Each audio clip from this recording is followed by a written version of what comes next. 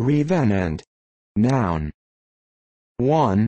Someone who returns from a long absence. 2. A person or thing reborn. 3. A supernatural being that returns from the dead, a zombie or ghost. Revenant. Adjective.